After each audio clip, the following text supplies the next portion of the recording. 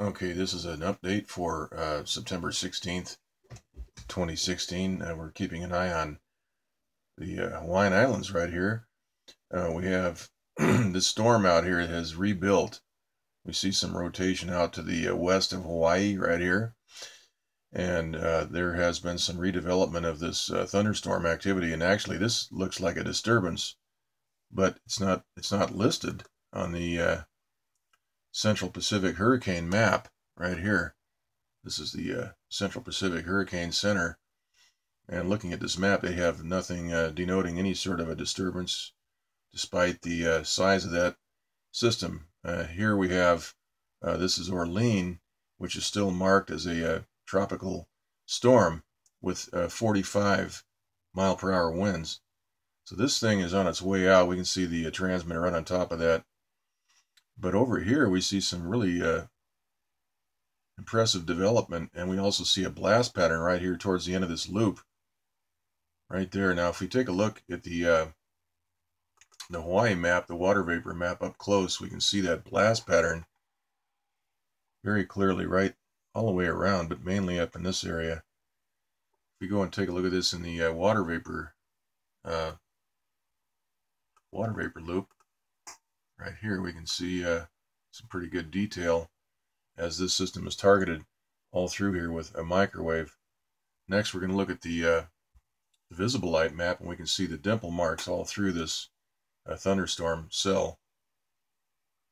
It's like a supercell. That's a very large area of thunderstorms. Now we can see all the photoshopping right there. That's all the, uh, pardon me, uh, the Photoshop work uh, to hide the uh, microwave uh, fingerprints on that on the top of that systems. Now, now, now as we uh, move towards the uh, the uh, day to night right here, we can see uh, craters and dimples all over right through here, and there's four of them right right in this area.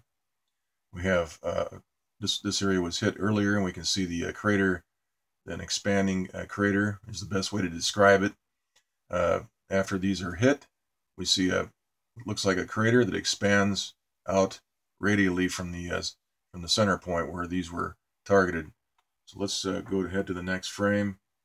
Okay, we don't have a next frame. So this is the first frame of the uh, night to day transition. So we'll keep an eye on this. But this is how the microwave actually works. They target various areas of the thunderstorm that weakens it. We can see another uh, big mark right here, uh, area where it was hit, and we have the islands right here. So this is a very big area of thunderstorms. Uh, let's go ahead and just run this again.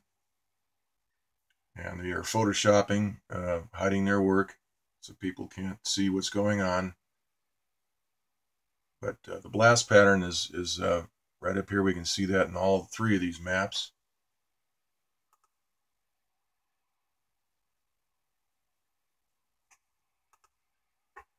Have the water vapor map.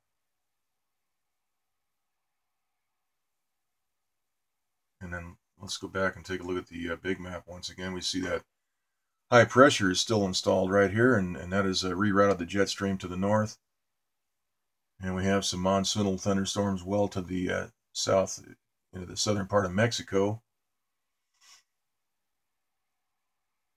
And we have a transmitter right here, which is cutting off this area of moisture right here, which is uh, feeding into this system. So by the end of uh, today, we should see a, a complete uh, break in that uh, moisture field right there. Also, we still have that break through the uh, eastern Pacific right here. All this should be moving right through California.